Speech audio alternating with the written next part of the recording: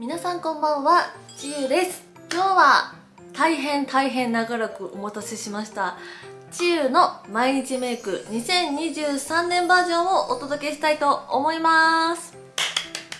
私は以前ね顔タイプ診断とパーソナルカラー診断というのを受けてきて、まあ、その結果を踏まえて毎日メイクを大幅にチェンジさせていただきました。で、まあ、それから結構月日が経ってその間にも結構メイクっていうのに結構こだわったりとかいろいろ研究をしてたので結構もうね2023年ももう春っていう 段階まで来ちゃったところでの毎日メイクなんですけど今回ねそのパーソナルカラー診断顔タイプ診断を受けてかなり私のメイクがもう今まで以上に盛れるようなメイクに変わりました。なので結構メイク道具とかもガラッと総替えしたぐらいの勢いで変えたのでもうほとんどね今までね持ってたやつが私と真反対のねパーソナルカラーの色だったんですよ。本当に。アイシャドウしかりリップしかり。だったのでもう結構メイク道具も一式変わってるのでその辺もぜひ参考にしながら見ていただければなと思います。私のパーソナルカラーと顔タイプ診断のおさらいをまずしておきたいんですが私のパーソナルカラーはブルベ冬のビビットタイプでございます。そして顔タイプがフェミニンという名前の顔タイプになっています。なのでちょっとね私の毎日メイクって今まで結構オレンジ使ったりとか結構春っぽいような色が多かったんですけど実は真反対の色で 私は結構そういうオレンジとかねくすみっぽい色とかが結構苦手だったので毎日メイクの雰囲気も今回ガラッと変えてブルベ冬がとにかく映えるメイクを意識して作りました。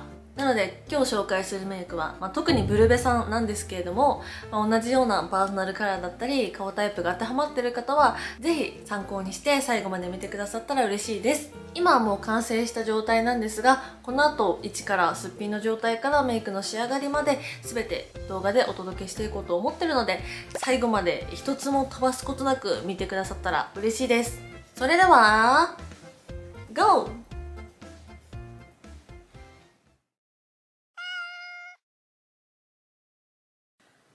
ということで早速すっぴんの方からメイクを始めていきたいと思います。もうがっつり今も裸眼なので私視力がまでないので 何にも見えてないのでまずは一旦カラコンを入れていきたいと思います。使うカラコンがこちら。オリアナエッジプラスのこちらはグレーのお色味になってます。こんな感じでレンズはねちょっとだけなんか光が入ったようなちょっと色が違う部分があってこれがなんか自然とチュルンと見えるような感じのデザインになってます。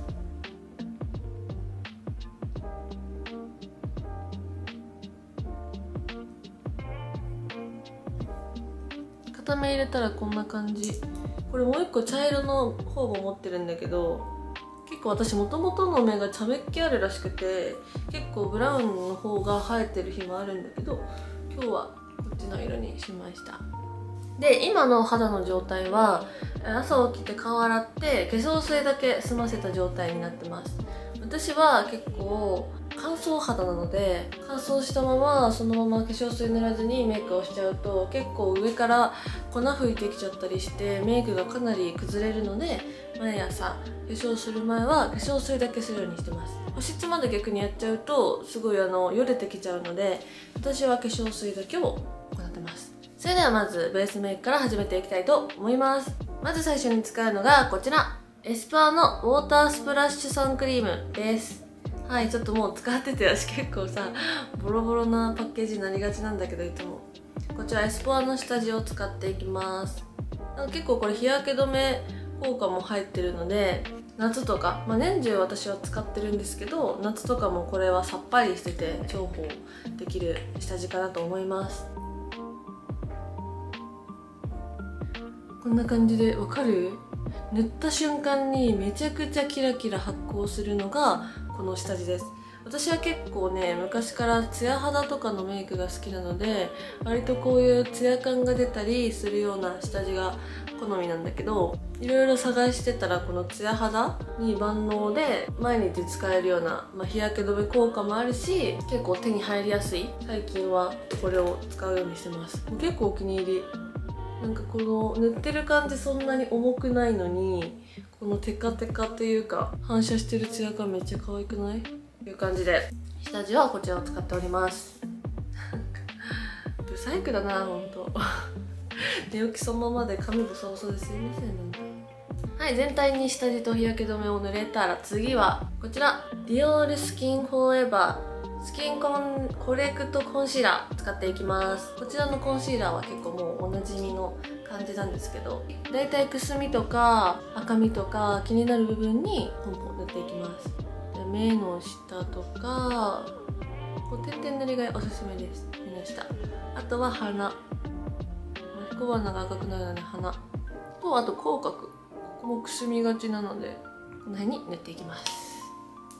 でこれを塗ったら手で伸ばすのではなくてこちらじゃーんちょっと三角形な感じのこういうブラシを使います。これはねロージーローダーのブラシなんですけどなんか結構私が撮影とかでメイクしてもらう時にメイクさんがコンシーラーをこういう筆平べったい筆で塗ってるのを見て私もちょっと真似して安物だけどこれは。安物なんだけど買ってみました。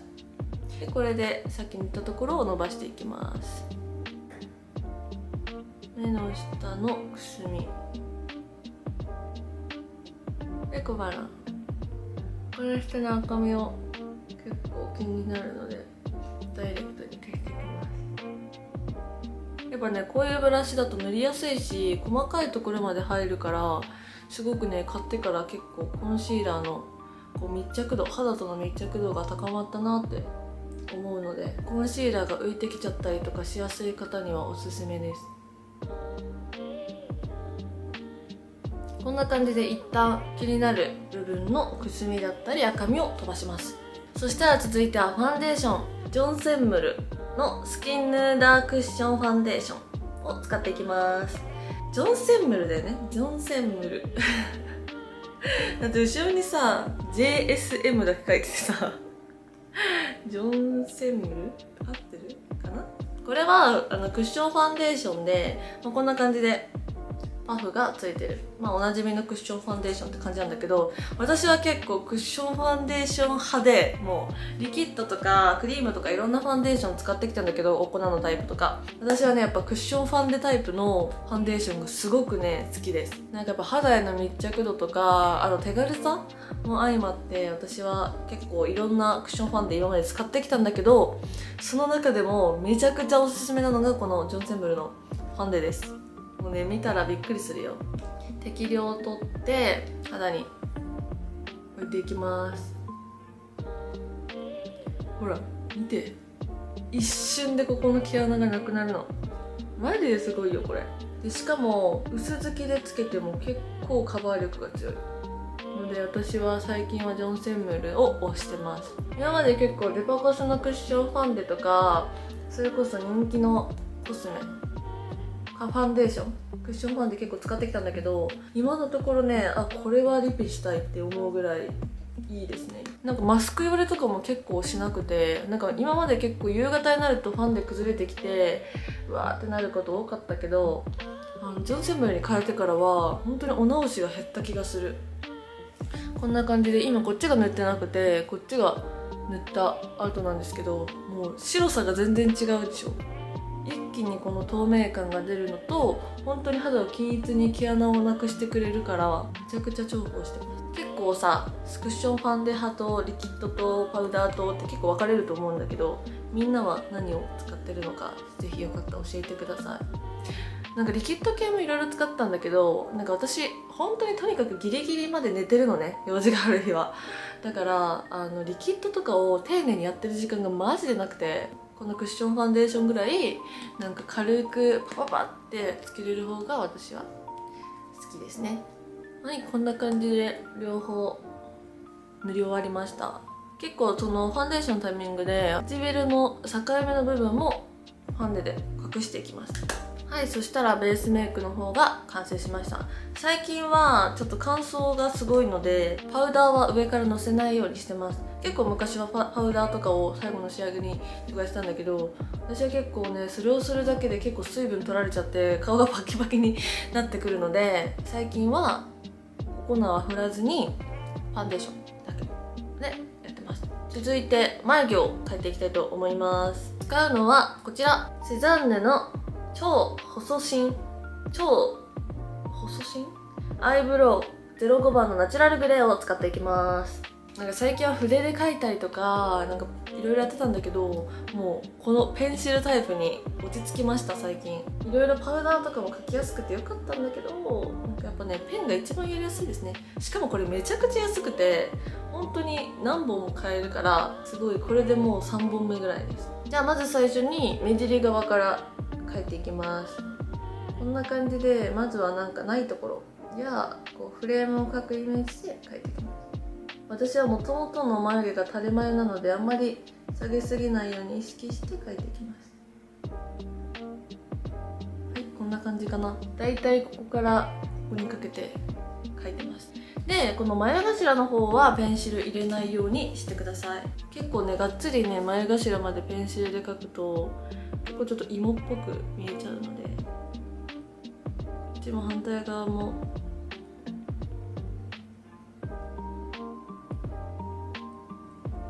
はいこんな感じでどちらとも眉毛描き終わりました。そしたら次さっきねぼかさなかった眉頭をこちらのブラシ使ってぼかしていきたいと思います、まあ、全体的にぼかすんだけどまずは眉頭から。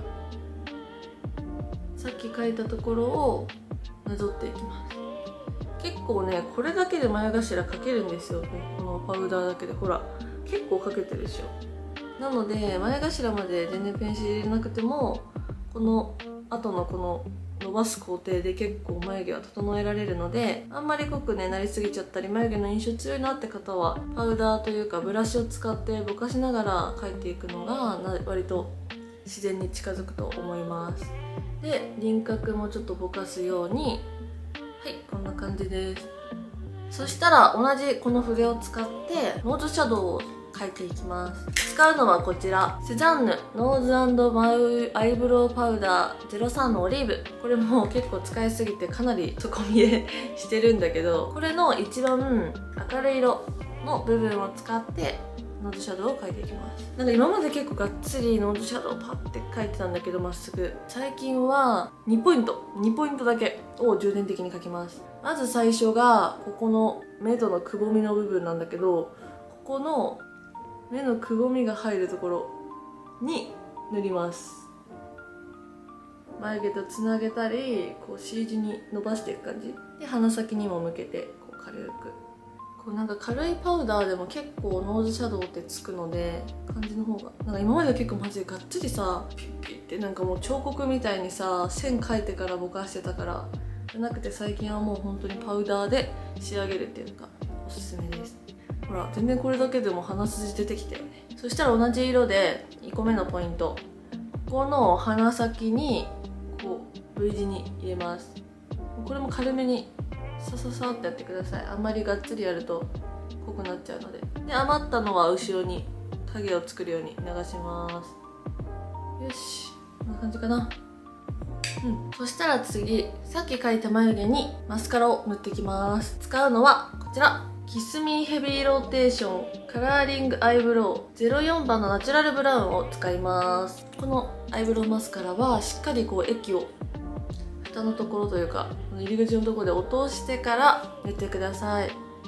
結構これベタベタつけると結構逆に芋っぽくなるので結構軽めなタッチでのせてください。こんな感じで。はいこんな感じでいました。そしたら眉毛は完成です。次がアイメイクの方に移りたいと思います。じゃん。ムードショールモーメントアイシャドウパレット02番のアイシャドウを使っていきます。もうこれは結構ブルベ冬が得意な色しか入ってないのですごくねおすすめです。しかも結構ナチュラルに使える色ばっかりなので普段使いもできるしすごくおすすめです。ではこちらのアイシャドウのこの一番明るいところを使っていきます。でアイホール全体に塗っていきます。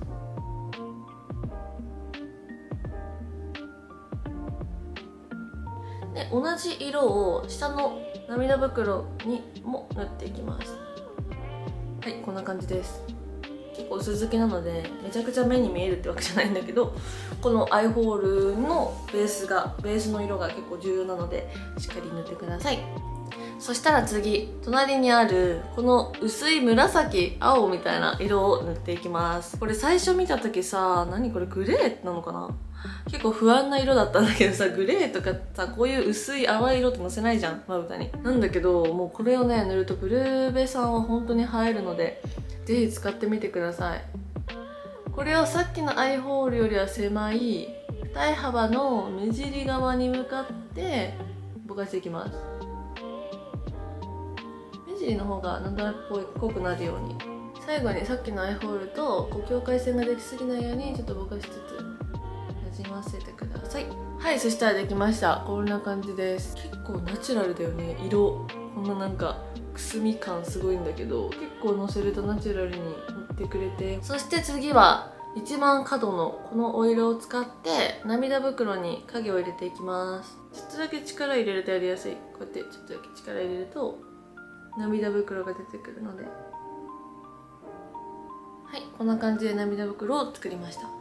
そしたら続いてはアイラインを引いていきたいと思います。この後もねアイシャドウまだ使うんですが先にアイラインをここで引いていきます。使うアイライナーがこちら。セザンヌの極細アイライナー EX10 番のブラックです。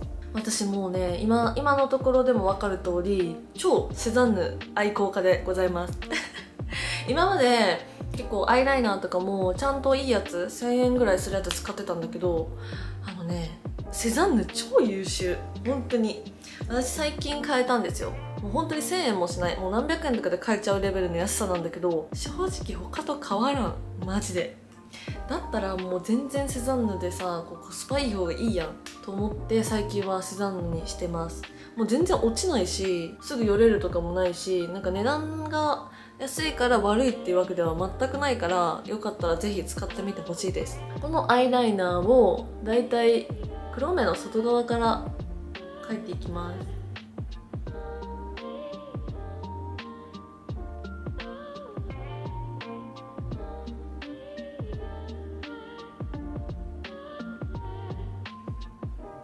はいこんな感じでなんか若干左右非対称な気がするけど。そしたら続いては先の細い筆細めの筆を使ってさっき描いたアイライナーをシャドウでぼかしていきます。使うのは涙袋と同じこの茶色を使っていきます。さっきのアイライナーの上をぼかしていきます。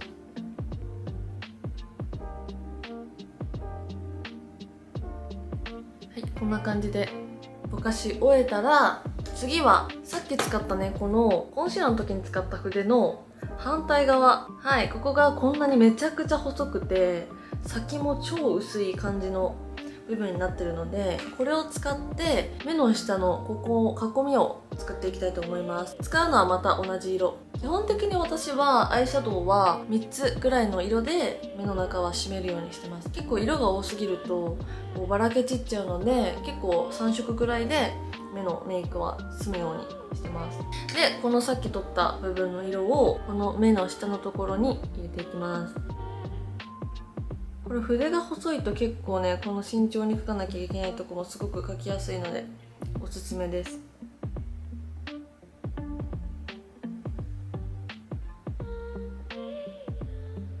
はいこんな感じで描き終わりました。そしたら続いてマスカラの方に移っていきたいと思います。使ってるビューラーはこちら。ちょっと 掃除しなくて汚いんだけど資生堂のマスカラを使ってます。もうギャンギャンにまつげは上げちゃってください。構ビューラーのコツって難しいんだけどとにかくね自分の目の幅とか形に合ったビューラーを探すのが一番おすすめかもしれない。はい。ビューラーが上がったら続いてはキャンメイクのクイックラッシュカーラーセパレートマスカラ下地を塗っていきます。もうこれがあるとないとで全然まつげの上がり方が変わるのでぜひ絶対に使ってほしい。反対側も。はいこんな感じです。これをやるとねもうかなり長時間まつげが上向きをキープしてくれるのでぜひ使ってください。続いてマスカラを塗っていきます。使うマスカラがこちら。じゃん。セザンヌの耐久カールマスカラ01のブラックを使っていきます。またまた大好きなセザンヌさんを使っていきます。これね結構こういうタイプのヘラっぽい感じの形のか全然ピンと合わないけど 形の先っちょになっててこれもねあのメイクさん撮影の時のメイクさんが使ってて同じのを買いました。真似しすぎなんだけどこのマスカラを全体的に塗っていきます。こんな感じでうまいことねヘラの先とかも使いながら一旦塗ってください。で塗るとねこんな感じで最初はこうダマになっちゃうのよ。そんな時におすすめなのがこちら。コーム。マジで汚いんだけど。このコームを使ってこう入れていきます。するとかなり綺麗になるのでこれ絶対みんな使ってください。こうガツガツやると結構ダマが取れてこうポロポロ出てきたりするんだけどダマがね結構取れて結構綺麗なスパレートになってくるのでこれをちょっと繰り返しながら理想のまつげを作ってください。これのねこういうまつげメイク技術も撮影中のヘアメイクさんの動きを見てちょっと真似てます。やっぱね美容メイクの方とかそれこそヘアメイクとかやっぱプロの方のね技はすごいからやっぱそういうのをね真似るって大事ですよ。続いてこっち側のまつげも同じように塗っていきます。はいこんな感じでできました。そしたら続いて下まつげの方に移るんですが下まつげはマスカラを変えます。使うのがこちら。じゃん。デジャブのラッシュアップマスカラ。E1?E1 です。この極細のね結構バズってたりもしてた。このめちゃくちゃちっちゃいブラシのマスカラを使って下まつげは描いていきます。これもメイクさんから盗んだテクです。このねやっぱねマスカラは線が細いというか先が細いから下まつげ描きやすすぎて本当にねいいですよ。下まつげも結構ちょっと絡まったりした時はコームでまっすぐなじませてください。はいこんな感じでマスカラが完成しました。はいそしたらアイメイク最後にこちらシピシピのグリッターを塗っていきます。もうねシピシピはグリッターの代表と言ってもいいぐらいめちゃくちゃ可愛いグリッターなので愛用させていただいております。このね黒目のちょうど下の上側もう本当にね生え際まつげの生え際にだけょんちょんちょんって。強調しすぎない程度にこんぐらい塗っていきます。はい。こんな感じ。このグリッターをここに仕込むだけでちょっとうるうるな涙目っぽい感じに仕上がるのでおすすめです。次はまぶたの黒目の上。さっき描いたところのちょうど上の部分にこう線っぽい感じで縦に仕込ませます。落としてから余ったのをつけるぐらいのイメージでつけるとナチュラルで可愛いと思います。結構ギラギラにつけすぎると本当にパーティー用みたいな感じになっちゃうので普段使いする時はこれぐらいの量を取ってください。で最後にここの目頭の部分の上のところに適量ちょっとだけね仕込んでください。こっち側も。はいこんな感じでアイメイクが完成しました。ラストスパート。次はチークに移りたいと思います。使うチークはこちら。ヒンスの03番シャインアウトという色を使っていきます。このチークはねもうマジでね色味がめっちゃ可愛くて青みピンクとか紫とかそっち系のチークなんですよ。これがマジでブルベ冬向けです。これも撮影中にメイクさんがつけてくれて買いました。はいこれをこんな感じでくるくる取って出っ張ってる部分に置いていきます。ちゃ可愛い。なんかそんなに主張しすぎないような色でこんな感じ。ほらふわっと乗る感じの紫っぽい色味になってます。ハイライトとしても使えるみたいでなんかそれぐらい本当に薄付きなのでなんか私も結構あんまりテカテカチークっていうかこう結構パキッとした色のチークが子供っぽくなりやすいからこれぐらい大人っぽい色だとすごく使いやすくて使ってます。こんな感じいい感じの光沢感も残しつつチークにもちゃんとあるっていう感じ。顎先にもちょっとだけ塗ります。はい。そしたら次ハイライトを塗っていきます。ハイライトもまたまたこちらセザンヌさんのパールグローハイライト04番のシェルピンクピンクの色のハイライトを使います。適量取ってまずは鼻先、はい、鼻先とこの鼻の付け根の部分とこの頭のとこに塗ります。そしたら最後にリップを塗っていきたいと思います。使うリップがこちら中のエンビーという色になります。この色は結構ブルーベメイクでバズってた色だったので買ってみました。このリップをまずは中内側の方から塗っていきます。こんな感じで。で1回。でしてから1回広げます。指で。こんな感じで指で1回広げたらまた内側に塗ります。こんな感じでついたらまたこれをパンパン。こんな感じで。なんか結構ね私はね枠を縁取るリップがあんまり好きじゃなくてなんかそういうのがかっこいい時もあるんだけど最近はこうやってちょっとじわって感じのリップの方が好きです。で最後にさっきのハイライトをまた取ってこの上三角のこの山のリップの山のところの上に塗ります。これでリップに立体感が出るのでおすすめです。はいということでメイクが完成したのでヘアメイクをして終了です。それでは完成まで。321